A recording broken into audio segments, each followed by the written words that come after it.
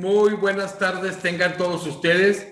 Es un privilegio continuar con este Congreso Internacional de Derecho Ambiental en homenaje a la trayectoria de un gran jurista como lo es Néstor Caferat.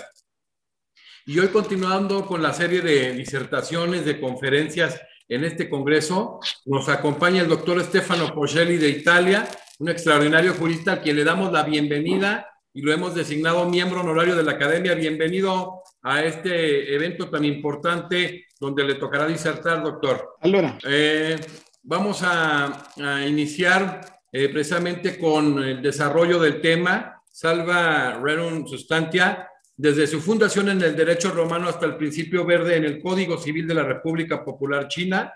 Eh, el doctor Stefano Porcelli, previo a ello, es profesor de la Universidad de Brescia tiene dos doctorados, uno en Derecho Romano por la Universidad de Roma y otro en Derecho Civil y Comercial por la Universidad de China de Ciencias Políticas y Jurisprudencia. Eh, enseñó, disertó seis años en la Universidad de China de Ciencias Políticas y Jurisprudencia.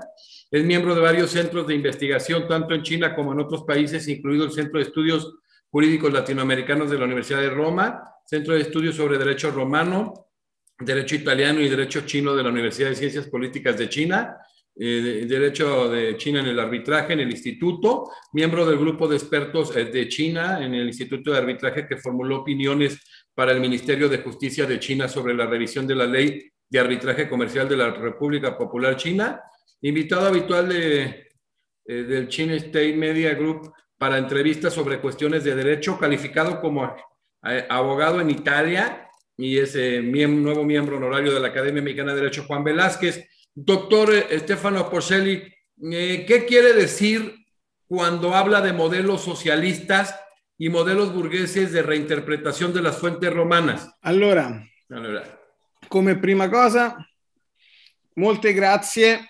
È un onore essere stato designato come membro onorario dell'Accademia eh, Mexicana del Derecho eh, Juan Velázquez.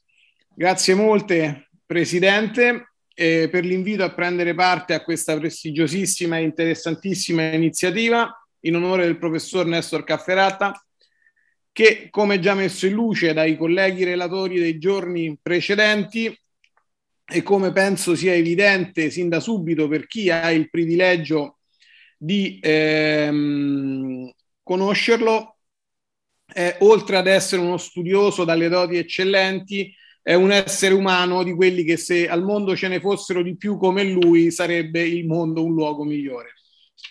Se posso condividere lo schermo, arrivo alla domanda che mi è stata posta. Un istante.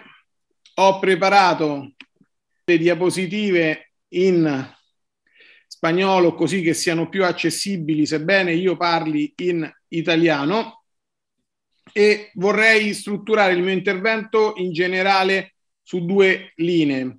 L'argomento dell'intervento mh, mm, è un argomento di diritto dell'ambiente, però lo prendiamo dal lato del diritto privato ambientale, che è uno dei temi eh, cari al professor Cafferrata. E vorrei prima presentare in maniera descrittiva il codice civile della eh, Repubblica Popolare Cinese per quello che attiene ai temi rilevanti per il diritto dell'ambiente e alcuni aspetti della sua eh, applicazione pratica e poi passare a delle riflessioni da un punto di vista storico-dogmatico. Arriviamo allora alla domanda che mi è stata posta. Perché eh, parlo di filone borghese e filone socialista di rilettura delle fonti romane? Il 28 maggio del 2020 la Repubblica Popolare Cinese approva e il Presidente della Repubblica Popolare Cinese lo stesso giorno promulga il codice civile della Repubblica Popolare Cinese. L'Assemblea nazionale del popolo è l'organo legislativo della Repubblica Popolare Cinese che approva il codice con 2.879 voti a favore, solo due voti contrari e cinque astensioni. Questo codice civile della Repubblica Popolare Cinese è entrato in vigore nel suo complesso il primo gennaio del 2021, quindi circa un anno fa. Questo codice civile è strutturato in sette libri. C'è un libro sulla parte generale, quindi il modello pandettistico, seppur rivisitato chiaramente. Un libro sui diritti reali, un libro sul contratto, un libro sui diritti della personalità, un libro su matrimonio e famiglia, un libro sulla successione mortis causa, un libro sulla responsabilità da illecito civile. Scusate le slides. Il processo di elaborazione di questo codice è iniziato nell'autunno del 2014 ed è stato organizzato in due tappe, liambu in Chinese, due passi. Il primo passo è stato quello dell'elaborazione del libro sulla parte generale, che è stato completato nel 2017 e la parte generale è entrata già in vigore nel 2017. Il secondo passo è stato quello dell'elaborazione dei libri che compongono la parte speciale ed è quella che è stata completata nel 2020 e poi il codice riassorbito dalla parte generale è stato appunto eh, approvato e promulgato nella sua interezza nel 2020. È un codice della tradizione romanistica che reca appunto le categorie delle nozioni scientifiche ispirate sia ai modelli borghesi che ai modelli socialisti di lettura delle fonti romane.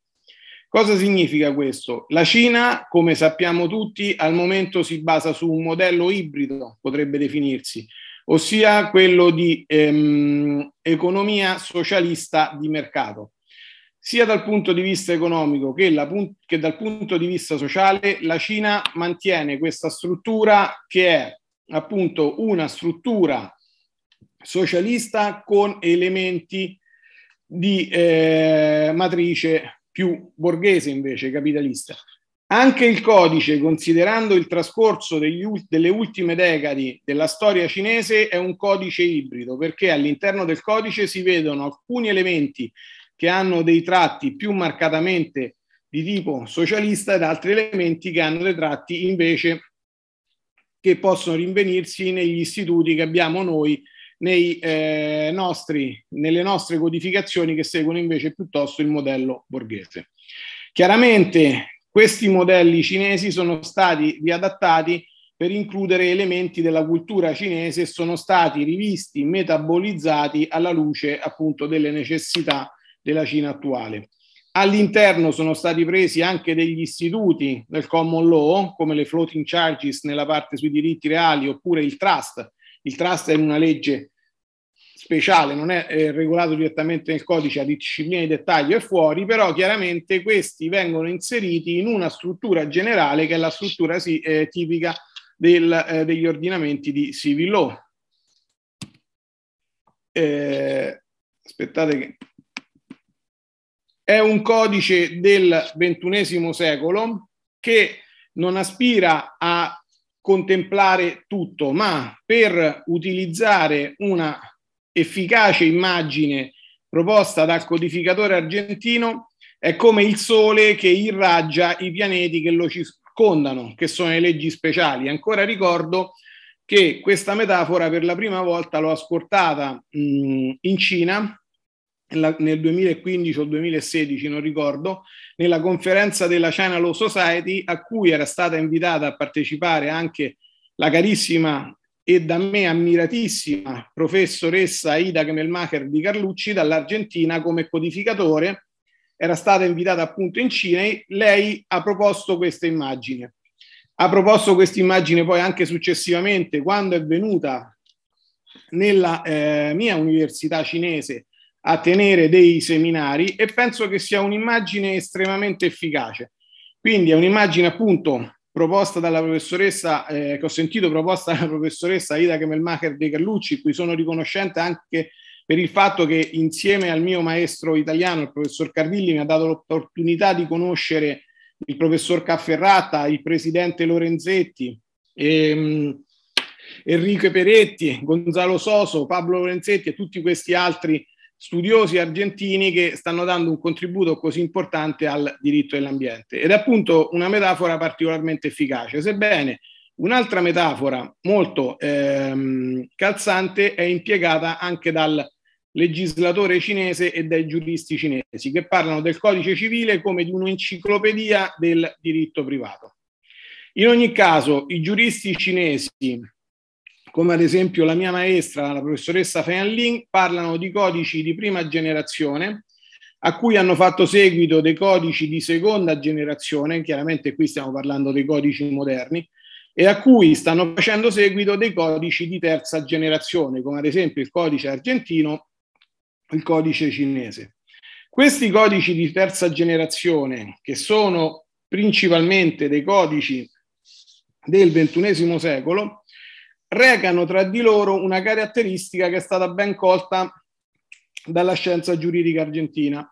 Gonzalo Sozzo infatti puntualmente segnala la, pre- la presenza di una tendenza comune tra questi codici a dare importanza alla protezione degli ecosistemi. Vediamo il principio verde nel codice civile cinese. Il cosiddetto principio verde, Lius Yuanzi, lo troviamo enunciato all'articolo 9 del codice civile cinese.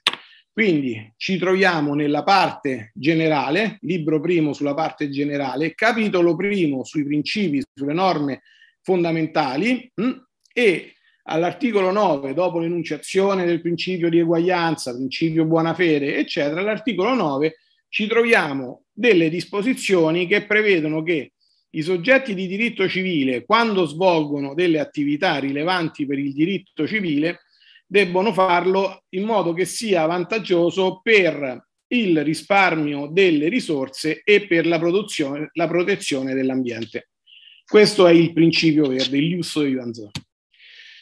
Questo principio verde, scusate, ma questo principio verde lo vediamo in realtà che già iniziava ad essere abbozzato dalla scienza giuridica cinese quasi 20 anni fa il professor Xu Guodong, professore di diritto romano e di diritto civile, tiene un centro di ricerca sul diritto romano nell'Università di Xiamen.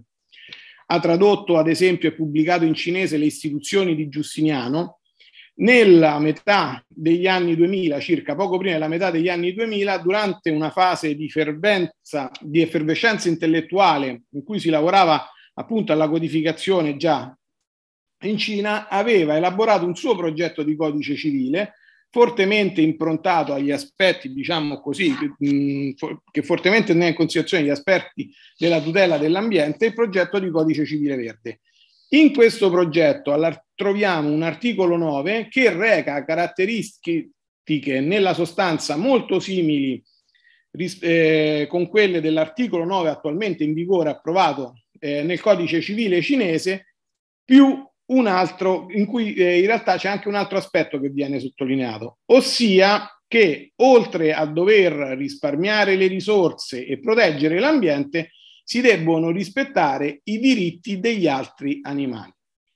Questo è un aspetto importante perché vediamo già da qui appunto se conosciamo la parte iniziale delle istituzioni di Giustiniano, così come le prime divisioni che troviamo nei digesti, vediamo appunto questo riferimento agli altri animali già di suo ha una profonda radice romanistica.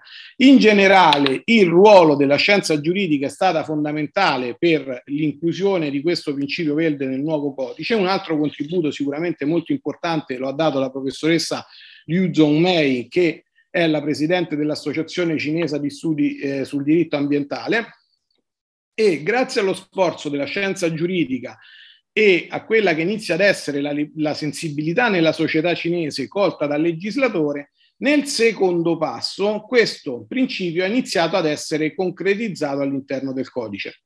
In realtà è una notizia dello scorso anno, si sta proseguendo ancora su questa strada e si sta elaborando fuori dal codice civile una legge speciale che sarà chiamata probabilmente codice dell'ambiente o codice verde. Eh, sono iniziati da poco i lavori, è presto per poter dare, eh, passare ad un'analisi di questo perché ancora, eh, da quanto eh, so io, circolano alcuni progetti di esperti, ma il progetto del, dell'organo legislativo ancora non è stato diffuso verso il pubblico per le consultazioni, quindi è presto, però è importante segnalare il fatto che si stia già lavorando su questo codice e chiaramente anche qui torna in gioco la bella metafora del codificatore argentino che abbiamo richiamato prima, ossia questo qui sarà un altro pianeta che il codice con il suo principio verde andrà ad illuminare. Scusate, ma non capisco le mie slides. Quindi vediamo allora dove è stato concretizzato il principio verde all'interno del codice. Il eh, principio verde è stato concretizzato in diversi luoghi già del codice civile nella seconda parte. Un primo luogo è quello che troviamo appunto eh, menzionato all'articolo 286 del codice stesso che è nel libro secondo sui diritti reali e prevede che il comportamento dei condomini deve soddisfare i requisiti di, di conservazione delle risorse e protezione dell'ambiente. Lo troviamo altresì concretizzato sempre nel libro sui diritti reali in uno dei primi articoli dettati con riferimento ai diritti reali di godimento. Allora, il libro sui diritti reali in Cina è strutturato in una parte generale, in una parte in cui vi sono le norme mh, hm, sulla proprietà che è divisa tra pubblica e privata e la pubblica a sua volta è divisa in statale e collettiva, un libro sui diritti, eh, scusate, un capitolo sui diritti reali di garanzia, eh, sui diritti reali di godimento, poi uno sui diritti reali di garanzia e poi uno sul possesso. Quindi qui questa è la parte di norme generali del capitolo sui diritti reali di godimento e vediamo che i, diritti, i titolari dei diritti reali di godimento nell'esercizio di questi diritti debbono osservare le norme sulla protezione, sullo sviluppo ed uso razionale delle risorse e sulla protezione dell'ambiente. Ancora nel libro sui diritti reali lo troviamo questo principio verde declinato nell'articolo 346 che eh, riguarda, detta norme per il diritto di godimento specifico, che è quello di uso dei terreni destinati a costruzione, e prevede che quando si costituisce questo tipo di diritti debbano essere soddisfatti i requisiti di conservazione delle risorse e protezione dell'ambiente ecologico. Passando poi alla materia dei contratti, il principio verde lo troviamo ancora eh, concretizzato, sebbene sempre in via piuttosto generale in questo caso, nell'articolo 109, importantissimo, che è quello che detta le norme sull'adempimento delle obbligazioni contrattuali. Dopo aver, come nell'articolo 60 della precedente legge sui contratti, previsto che l'adempimento debba mh, svolgersi tenendo conto del principio di buona fede, eccetera, è stato aggiunto un terzo comma rispetto alla, un terzo paragrafo rispetto alla versione precedente in cui si prevede appunto che l'adempimento delle obbligazioni contrattuali, e in realtà questo potrebbe essere valido forse per tutte le obbligazioni, bisogna riflettere meglio su come interpretarlo, in ogni caso quantomeno le contrattuali debbono essere adempiute evitando di ehm, sprecare risorse, inquinare l'ambiente e distruggere gli ecosistemi. Ancora in via piuttosto generale, sempre nel libro sui contratti, lo troviamo all'articolo 558 che riprende e integra il 92 della legge sui contratti precedente, che impone che appunto dopo che il rapporto obbligatorio sia estinto vi siano alcuni obblighi che sopravvivano tra le parti come obblighi di notifica, di reciproca assistenza, di confidenzialità e tra questi appunto è stato aggiunto ora nel codice anche quello di riciclare le cose vecchie. Sempre nel libro sui contratti, andando più nello specifico, troviamo delle norme che invece riguardano gli imballaggi. L'articolo 619 in materia di contratto di compravendita, ma che in base a delle regole che troviamo nel codice vediamo che si estende in realtà potenzialmente a tutti i contratti, salvo quelli gratuiti. In ogni caso prevede che gli, ehm, gli imballaggi appunto debbano essere eh, predisposti facendo sì che si, risparmio, eh, si tenga conto del risparmio delle risorse e la protezione dell'ambiente. Ancora a livello di norme specifiche dettate in materia di contratti, sempre contratto di compravendita, quindi con forte forza espansiva, ci sono quelle dell'articolo 625 che prevedono che ove sia disposto così eh, dalla legge, dai regolamenti o dalla volontà delle parti, se la cosa mh, oggetto del contratto deve essere riciclata dopo lo scadere della sua vita utile effettiva, il venditore è obbligato personalmente a riciclarla o dar mandato ad un terzo per farlo. Accanto al diritto dei contratti abbiamo ancora delle norme specifiche nell'ultimo libro che è quello sulla responsabilità da illecito civile. E qui vediamo che si riprendono e modificano un po' le norme già dettate nel 2009 in materia dalla legge appunto sulla responsabilità del lecito civile. Qui c'è un capitolo intero dedicato appunto alla responsabilità per danno ambientale. Questo capitolo consta di sette articoli. Vediamo che ad esempio è prevista un'inversione in sostanza dell'onere della prova rispetto al regime ordinario, ossia chi è in sostanza chiamato in giudizio che deve dimostrare la propria non colpevolezza o l'assenza del eh, nesso di causalità. È previsto altresì, ad esempio, eh, una riparazione mh, hm, in carico al danneggiante, riparazione che se non viene svolta dal danneggiante stesso entro un certo limite di tempo, alcuni enti autorizzati possono svolgere, salvo poi rivalersi dal punto di vista economico sul, ehm, sul danneggiante, appunto, ed è prevista anche la possibilità di far ricorso ai danni punitivi per i casi più gravi. Cosa intendiamo per casi più gravi? I casi più gravi in cui si può fare risorso, ricorso ai danni punitivi sono quelli in cui sia ravvisabile il dolo o le e, anzi non o, il dolo e le conseguenze dannose siano particolarmente gravi. Dopo che appunto questo principio verde, che abbiamo visto così declinato anche negli altri libri del codice, comunque era stato già approvato e promulgato con la parte generale nel 2017, i giudici hanno iniziato ad utilizzarlo in Cina. Da quello che ho potuto vedere io, ci sono tre modalità principali in cui eh, questo principio viene utilizzato. La prima è quella di utilizzarlo nelle interpretazioni delle norme o dei fatti in modo che orientino la decisione del giudice in una direzione, in un senso più favorevole alla protezione dell'ambiente. Un altro è quello che nel caso in cui si presentino dei bilanciamenti di interessi complessi nelle mani dei giudici, con il principio verde si opta un bilanciamento anche in questo caso più favorevole per la protezione dell'ambiente. E vi è poi la terza modalità, quella ossia che come un, come un autentico principio si utilizza per andare a colmare le lacune. Cosa ne pensa la scienza giuridica di questa applicazione? Vi sono alcuni autori che cercano di piegarlo ai parametri di efficienza economica, ossia utilizzano tecniche della cosiddetta law and economics per compiere valutazioni e secondo me quantomeno giungono a risultati piuttosto discutibili perché non necessariamente anche dal punto di vista dell'efficienza economica l'impiego di questo principio deve essere così considerato in modo negativo.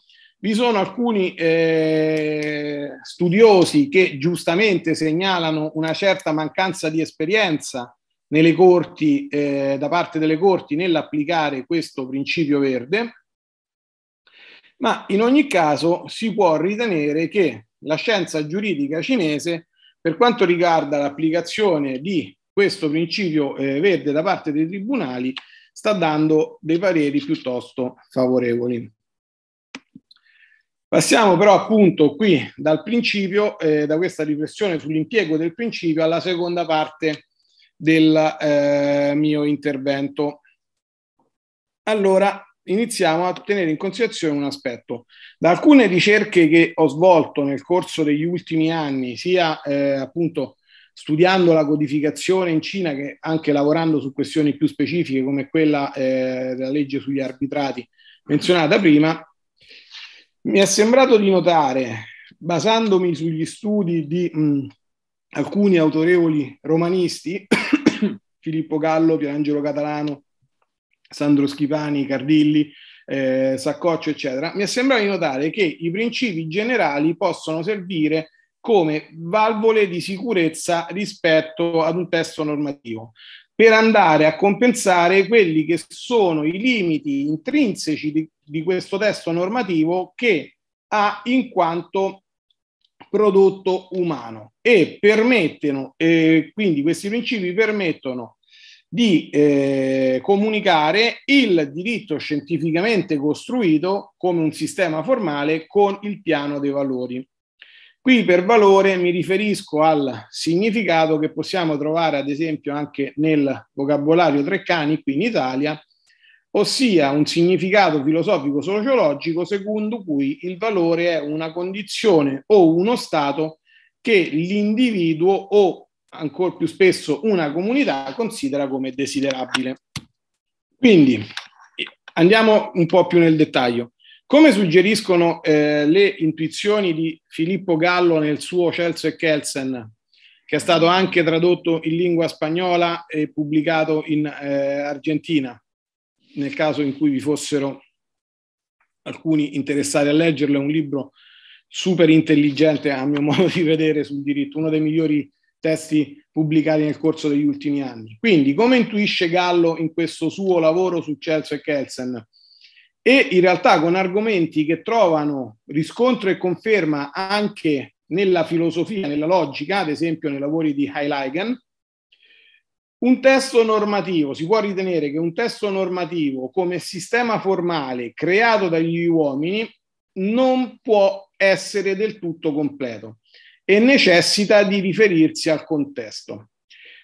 Come ci si riferisce al contesto? Kelsen, nella sua utopica volontà di creare un sistema formale completo, arrivava ad utilizzare la Grundnorm. Ma la Grundnorm di fatto era il punto in cui il sistema formale di Kelsen toccava il contesto. Oppure si può prendere coscienza di questa inevitabile incompletezza del diritto inteso come sistema formale e far impiego, ad esempio, dei principi generali che permettono questa gestione dinamica di fenomeni giuridici complessi, consentendo al testo normativo di dialogare con il ehm, contesto. Chiaramente l'uso di un metodo scientifico in campo giuridico è fondamentale. Noi leggiamo nella storia appunto Pomponio, ehm, giurista romano, diceva che prima di lui Quinto Mucio Scevola è stato il primo che ha in sostanza applicato questo metodo scientifico costruendo il diritto civile generati quindi per genere e specie, quindi andando in sostanza ad importare alcune tecniche che si sviluppavano nella logica, nella riflessione filosofica in Grecia e applicarle al diritto, facendo sì che il diritto diventasse una sorta di appunto grammatica del diritto, venivano elaborati degli elementi scientifici che possono essere poi modificati. Questo utilizzo del metodo scientifico, tuttavia, ci impone altresì di considerare il fatto che in quanto esseri umani abbiamo noi dei limiti e quindi il diritto che noi andiamo ad elaborare a sua volta dei limiti. E sono necessarie queste valvole di sicurezza appunto per far per creare un collegamento tra il diritto come sistema formale di contenuti, il piano di valori, andando così a orientare sia gli istituti che si scelgono quando si progetta il diritto come sistema formale, sia i contenuti degli istituti, ma appunto è necessario lasciare anche considerare questo spazio di eh, elasticità. Si è visto infatti che, ad esempio, lo stesso legislatore cinese ha già iniziato a concretizzare questo indirizzo che troviamo nel principio verde in alcuni articoli del codice, però chiaramente non è riuscito a prevedere tutto quello su cui pote, potenzialmente può essere rilevante questo principio. E sicuramente non riuscirà a farlo neanche con il nuovo codice verde. Appunto per questo, perché pur con i migliori sforzi, eccetera, essendo un diritto creato da esseri umani, resta la necessità di creare questi spazi in cui degli elementi dinamici possono venire in gioco. Chiaramente, appunto, con questi principi, da un lato si colmano le lacune e dall'altro si adatta l'interpretazione reg delle regole dettate alla luce dei valori che sono condivisi nel gruppo sociale di riferenza. di riferimento e questo vale chiaramente per ogni società umana e risente chiaramente dei valori che sono percepiti come tali, valori sempre nel significato precedentemente menzionato di ciò che si desidera, mh, società, dalle società umane in distinti luoghi e in distinte epoche, così che si va a eh, concorrere alla determinazione dei valori fondanti di un determinato sistema, che negli ultimi secoli sono normalmente registrati in quelle che pochi giorni fa il professor Cafferratta appunto definivo come carte politiche, le costituzioni, così come nella scelta dell'impiego di alcuni istituti e nel modo in cui si vuole dar forma a questi istituti. Chiaramente questo è un discorso che si applica in generale, per ragioni di tempo restringerei le ultime riflessioni rimaste al campo dei rapporti tra le persone concrete che respirano e quindi se l'aria è inquinata lo notano, che bevono acqua e quindi l'acqua non deve essere inquinata, e le cose. Ad esempio, in Cina la categoria dei diritti reali di godimento che menzionavo prima è stata costruita sui pilastri dell'uti e del frui, quindi dell'utilizzare e del fruire. Già la denominazione ce lo mostra. I diritti reali di godimento in Cina si chiamano Yong Yi Chuan. Yong significa usare, I significa trarre godimento, mm, sfruttare, U è la cosa e cioè nel diritto soggettivo. Quindi si seleziona questo elemento scientifico, però nel codice non è regolato l'usufrutto. Il codice civile cinese in questa categoria regola degli altri diritti, come ad esempio il diritto di uso dei fondi destinati a costruzione che abbiamo visto prima.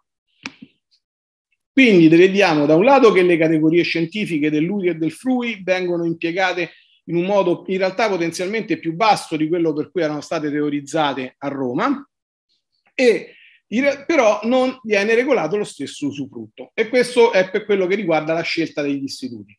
Abbiamo detto un altro aspetto che rileva è quello del contenuto, del modo in cui si regolano all'interno questi istituti e questo possiamo vederlo sul fronte della proprietà. La proprietà negli ultimi secoli, come nota bene un grande storico italiano, il professor Paolo Grossi, che è stato anche presidente della Corte Costituzionale italiana, a seguito di un cambio di mentalità che è avvenuto tra i secoli XVI e XVII, ha preso la via che l'ha portata ad essere sempre più come una relazione assoluta, astratta con le cose, una relazione che un altro grandissimo giurista italiano, Stefano Rodotà, aveva definito come il terribile diritto è un diritto che noi pensiamo conceda al titolare la facoltà di utere e abutere della cosa. Questo terribile diritto è un diritto altamente astratto e si è costruito come diritto soggettivo e quindi collegato ad un'altra stazione. Il soggetto di diritto di cui si parlava prima, qui si aprirebbe in realtà un altro fronte che non riusciamo eh, ad esplorare oggi, però appunto questo soggetto di diritto astratto non deve bere, non deve respirare, eccetera. E quindi la validità al giorno d'oggi di una categoria così astratta per rappresentare anche le persone che come noi debbono bere, respirare e quant'altro può essere discussa, ma restiamo sul lato della proprietà. La cosa chiara che mostrano gli storici è che questa idea che noi abbiamo l'esempio è quello della proprietà, ma anche di altri istituti può trarsi una conferma eh, analoga, in realtà è il risultato di intrecci storici. Quindi per noi è in realtà un errore considerarli questi come dei punti fissi, come dei dogmi inamovibili. Per fare un discorso sul principio verde, chiaramente serve una visione concreta per delle relazioni tra le cose e l'essere umano per riuscire a comprendere meglio le, eh, scusate, del, sì, tra l'essere umano, le cose e la natura per riuscire a comprendere meglio come un principio verde possa esistere. E in realtà questo principio verde potrebbe essere esistito a prescindere dal legislatore che lo qualifica come tale, perché ad esempio il legislatore cinese vediamo che lo limita alle attività rilevanti per il diritto civile, trattino commerciale sottinteso. Quindi per le altre attività non lo è rilevante? Certo che probabilmente lo è, però appunto è necessario porsi da una prospettiva concreta. È necessario andare a guardare il livello dei valori per questo, di quanto una determinata comunità desidera ed è questo che gioca un, un, ehm, un, ruolo importante nella questione relativa al principio verde, che appunto potrebbe essere esistito, ma è necessario un cambio di mentalità, per riprendere le parole di Paolo Grossi, per andare a metterlo a fuoco bene e dargli un maggior protagonismo.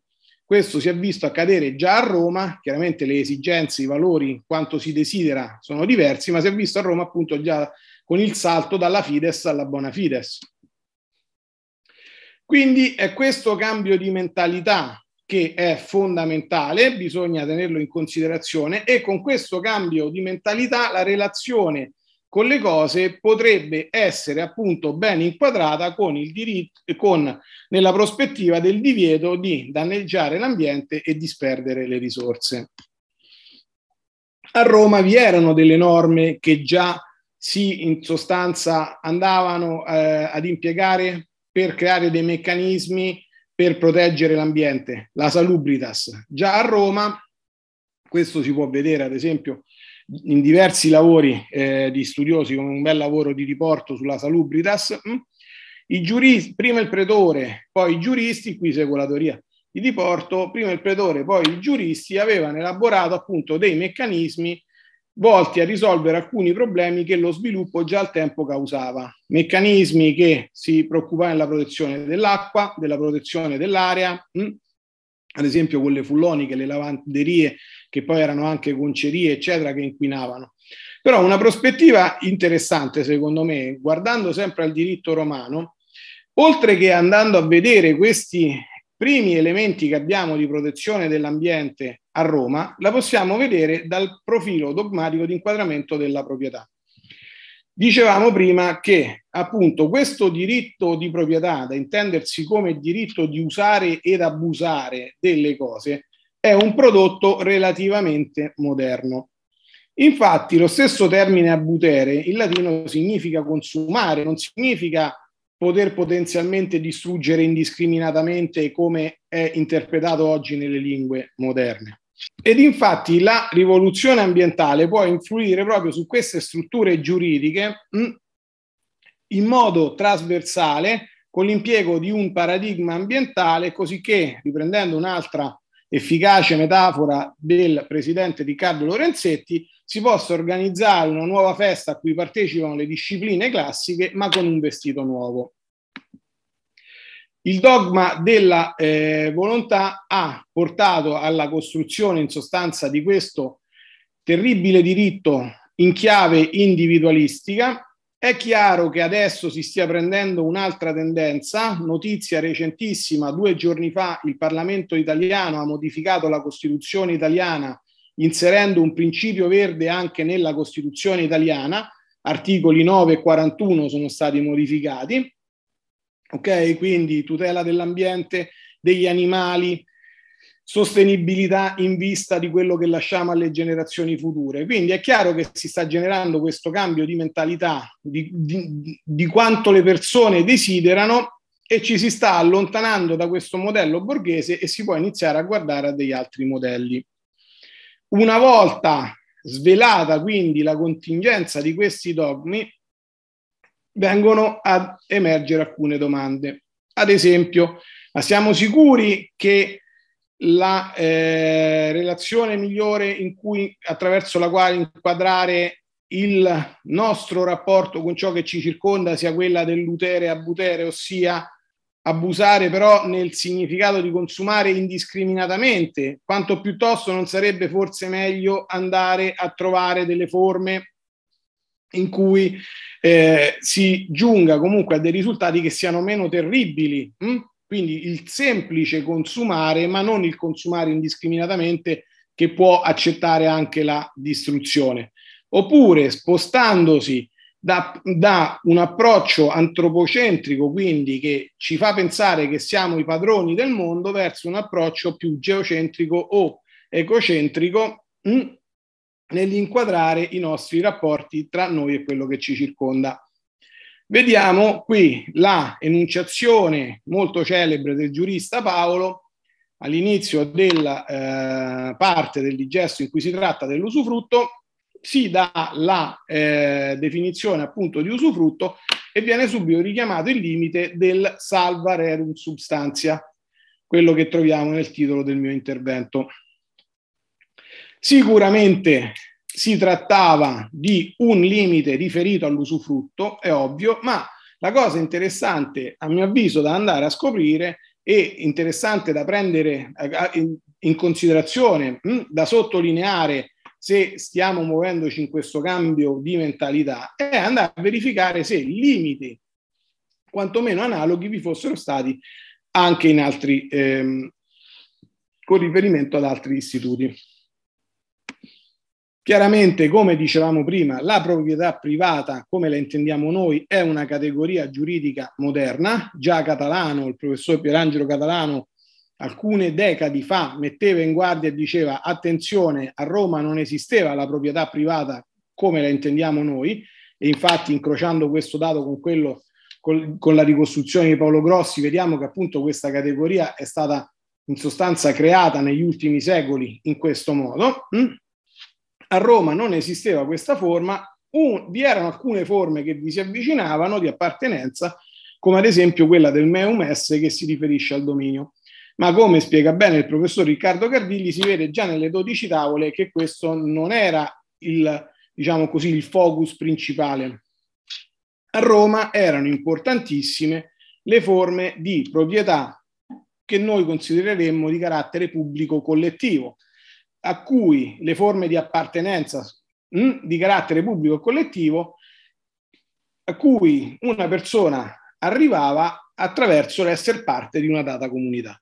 Chiaramente nell'essere parte di questa data comunità si dovevano rispettare delle regole anche nel rapporto con, queste, con le cose attraverso questo inquadramento. E un esempio ce lo troviamo nelle fonti che ce lo riporta appunto Gellio quando ci fa vedere come venivano date le, le temutissime note censorie da parte del censore appunto nei casi in cui eh, o i fondi o i cavalli, ad esempio, hm, se il cavaliere era un cavaliere eh, appunto eh, che aveva il cavallo pubblico non trattavano adeguatamente il fondo o il cavallo.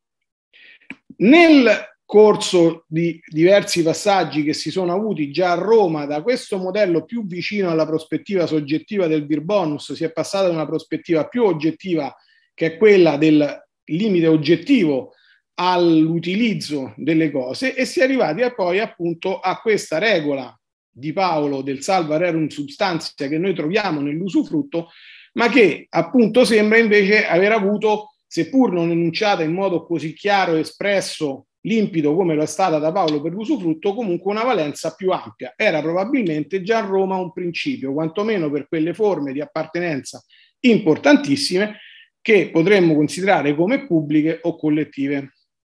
Ovviamente questo vale ancora di più nel caso delle res communes.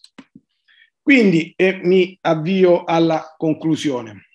Certamente la migliore soluzione per quella che ritengo io è quella di abbandonare questo approccio antropocentrico che abbiamo e che ci porta a pensare che siamo i padroni di questo pianeta e passare all'impiego di un approccio geocentrico o egocentrico, facendo sì di andare a eh, di inquadrare la nostra relazione giuridica con quello che ci circonda, cercando delle forme di appartenenza che possano essere rispettose di più sia per l'essere umano stesso che anche per quello con cui l'essere umano si relaziona.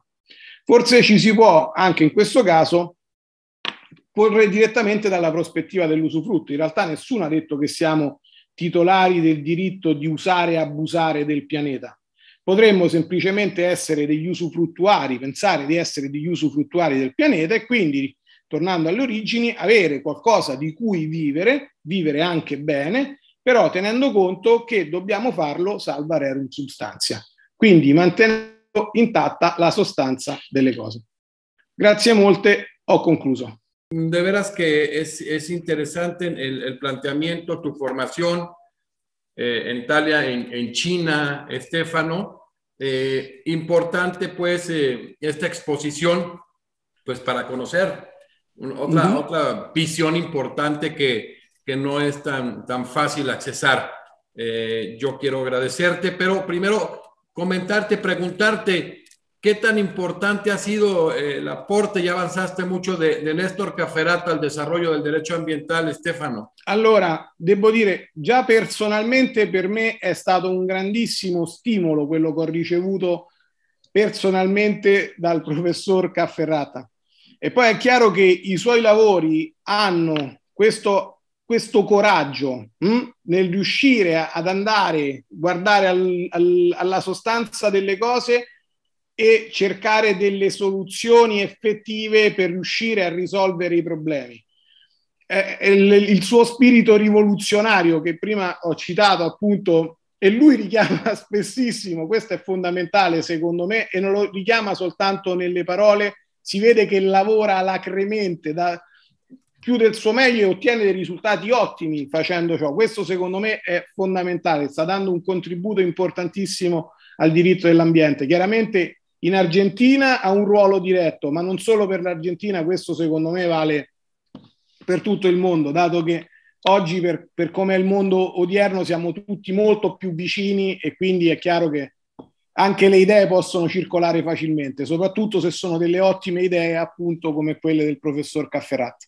Gra gracias, Estefano. Pues de, ahora sí despedimos esta, esta disertación por parte del doctor Stefano Porcelli de Italia, eh, quien es actualmente eh, profesor agregato, profesor auxiliar en la Universidad de Brescia. Enseñó seis años en la Universidad de China de Ciencias Políticas y Jurisprudencia, miembro de varios centros de investigación, tanto en China como en otras partes del mundo, miembro del grupo de expertos del China Arbitration Institute, que formuló opiniones para el Ministerio de Justicia sobre la revisión de la ley de arbitraje comercial de la República Popular, Popular China y hoy miembro honorario de la Academia. Muchísimas gracias, Estefano, gracias. por estar en la Academia Mexicana de Derecho Juan Velázquez.